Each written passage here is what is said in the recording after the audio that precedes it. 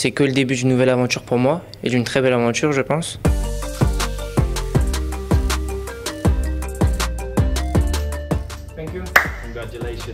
C'est une très grande fierté, une très grande joie pour moi de signer mon premier contrat euh, professionnel dans mon club formateur. Mon objectif, c'est d'essayer d'apprendre de nouvelles choses euh, auprès des anciens. Ils peuvent m'apporter beaucoup de conseils euh, pour l'avenir.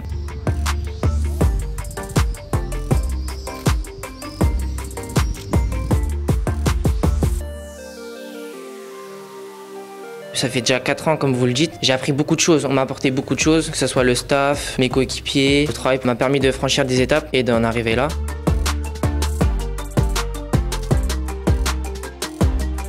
Dagemunegu.